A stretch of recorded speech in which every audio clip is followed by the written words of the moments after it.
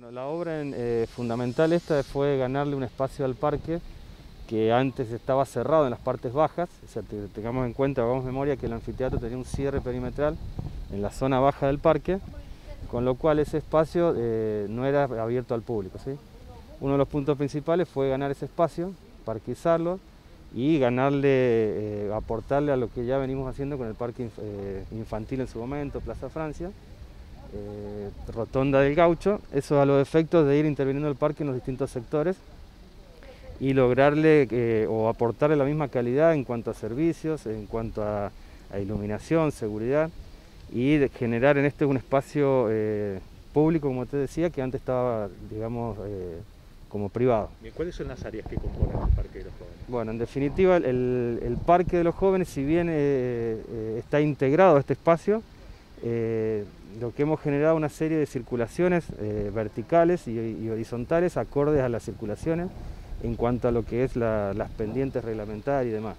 Eso nos llevó a nosotros a, generar un relleno, aproximadamente son más de 2.000 eh, camionadas de relleno que ha ido haciendo aporte la, municipalidad en forma paralela a lo que las empresas constructoras que trabajaron acá fueron haciendo.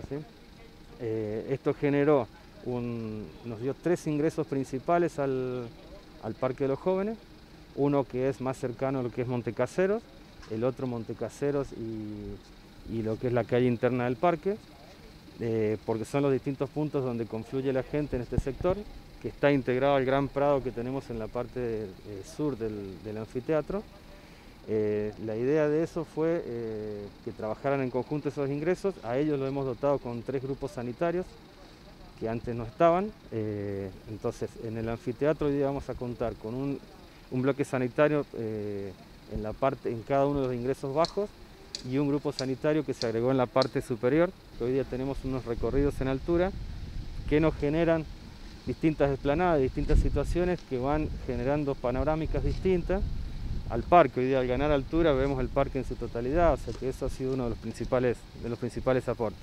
El Skype ya existía en su momento y el mismo fue intervenido, eh, restaurado en distintas, en distintas partes y fueron, digamos, eh, tratadas como de acuerdo a las normativas del, del, skate y se incorporó en el, sector sur lo que es el BOUS, que era una de, una de las demandas más, más solicitadas por, por, la gente del skate.